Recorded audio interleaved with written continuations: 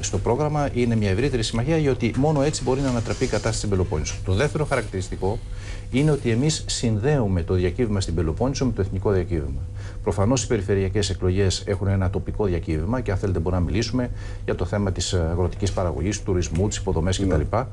Αλλά δεν μπορούμε να το αποσυνδέσουμε από το μήνυμα που θα δώσει η περιφέρεια ε, στο εθνικό επίπεδο. Και να σας πω ορισμένα πράγματα πολύ απλά και συγκεκριμένα. Υπάρχει ένα πρόγραμμα ένταξης στα ΙΠΕΔ, ε, οι πιο όμορφες παραλίες της Πελοποννήσου, να ιδιωτικοποιηθούν.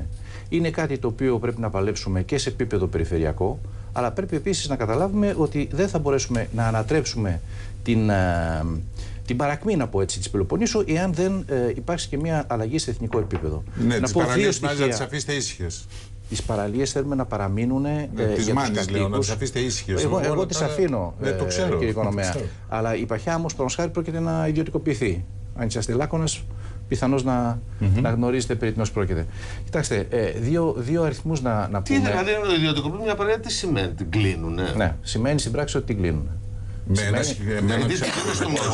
ένα συγκρότημα με ένα μεγάλο συγκρότημα και μια παραλία η οποία είναι ε, προσβάσιμη από το κοινό, σταματάει να είναι εκ των πραγμάτων προσβάσιμη ε, στο κοινό. Δηλαδή τη δίνουν μαζί να χτίσει ένα ξενοδοχείο μπροστά ή κάτι τέτοιο, ας πούμε. Έτσι, έτσι, έτσι, δεν, δεν δίνουν για εκμετάλλευση σε κάποιον να έχει την παραλία και να την. Αυτό είναι. Όχι, όχι, όχι. Θα, θα ιδιωτικοποιηθεί. Και η έκταση ε, από πάνω. Όχι ο Αγιαλό ο ίδιος, γιατί απαγορεύεται η αλλά στην πράξη αυτό θα γίνει. Διότι όταν έχεις μια παραλία η οποία έχει μια συγκεκριμένη πρόσβαση και κλείσει αυτή την πρόσβαση, τελειώνει. Δεν μπορεί να πας κολυμπώντας στην παραλία. Να σας πω δύο στοιχεία τα οποία είναι σημαντικά για την Πελοπόννησο. Το πρώτο είναι η ανεργία. Η ανεργία τα τελευταία τρία χρόνια έχει αυξηθεί κατά 153%. Δηλαδή ένα ποσοστό το οποίο είναι σημαντικά μεγαλύτερο από το εθνικό ποσοστό, το οποίο ξέρετε ότι ήδη είναι πάρα πολύ σημαντικό. Και η Πελοπόννησος, παρά το φυσικό της πλούτο, το ανθρώπινο δυναμικό κτλ., είναι μία από τις πιο φτωχές περιοχές της Ευρώπης, περιφέρειες. Σε ένα σύνολο 214 περιφερειών, Πελοπόννησος έρχεται τελευταία στην ουσία, 21η. Έχουμε λοιπόν. Όχι για την Ήπειρο πιο φτωχή. Η Ήπειρος Πελοπόννησος είναι στο ίδιο επίπεδο. Ναι. ναι. Ε, αυτό ε, είναι κάτι το οποίο πρέπει να συνδέσουμε με το γεγονός ότι παρά την κρίση έχουν διατεθεί πόροι. Έχουν διατεθεί πόροι ιδίως από το ΕΣΠΑ. Το πρόβλημα είναι ότι αυτοί οι πόροι ε, δεν χρησιμοποιούνται για να υπάρξει μια ανάπτυξη προς όφελος των κατοίκων. Και αυτή, να θέλετε, το περίφημο σύστημα Τατούλη είναι πόροι οι οποίοι διαχέονται σε διάφορες εταιρείες εργολαβικές, οι οποίες κάνουν μελέτες, δρόμοι, οι δρόμοι πέφτουν, μετά τους ξαναχτίζουμε ενώ τους έχουμε πληρώσει ήδη στην εταιρεία η οποία δεν τους έχει παραδώσει άρτιος και ούτω καθεξής. Αυτό εμείς θέλουμε να ανατρέψουμε. Θέλουμε να ανατρέψουμε αυτό το σύστημα το οποίο είναι κατανάλωση πόρων για διάφορες αδιαφανείς εταιρείες. Έχουμε και ένα πρόβλημα στην Πελοπόννησο, μια ιδιαιτερότητα. Είναι ότι η περιφέρεια δίνει τα έργα ο νυν περιφερειάρχης, ο απερχόμενος περιφερειάρχης, δίνει τα έργα της περιφέρειας σε εταιρείες οι οποίες ανήκουν στην οικογένειά του.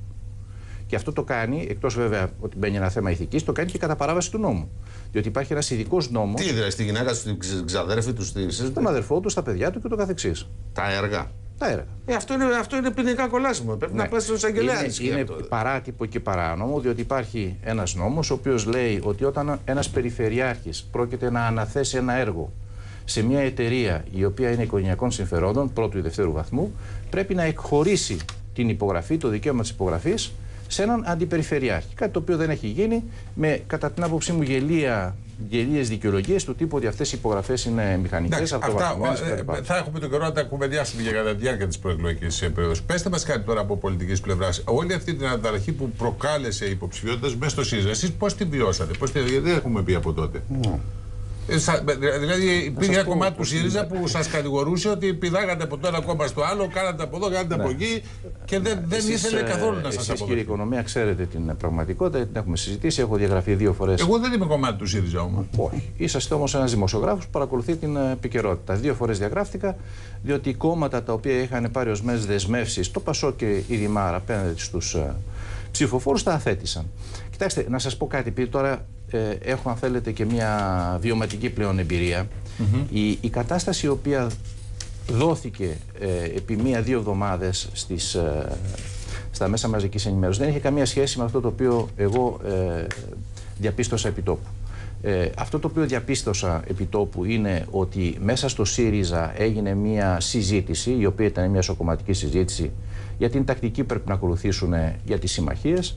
Αυτή η συζήτηση ήταν μια έντονη συζήτηση, δημοκρατική συζήτηση. Αυτό το οποίο διαπιστώνω είναι ότι ε, ακόμα και αυτοί, ίσως αυτοί οι οποίοι είχαν την άποψη ότι ε, δεν πρέπει να ανοιχτεί ο ΣΥΡΙΖΑ σε ορισμένες συμμαχίες, αυτοί αυτή τη στιγμή έχουν μπει πρώτοι στον, στον αγώνα. Ναι, ε, και έχουν, και έχουν μπει πρώτοι στον αγώνα, να πούμε και αυτό, διότι πλέον γίνεται φανερό σε όλους ότι δεν πάμε για να μετρήσουμε δυνάμεις σε μια, σε μια περιοχή, η οποία πρέπει να το πούμε είναι μια περιοχή μάλλον συντηρητική. Δεν έχει επικρατήσει ποτέ σε περιφερειακό επίπεδο. Ε, μόνο έχει επικρατήσει η Νέα Δημοκρατία και συντηρητικές δυνάμεις. Αυτή τη στιγμή, αυτή τη στιγμή ο καθένας συνειδητοποιεί ότι μπορούμε να κερδίσουμε στην Πελοπόννησο.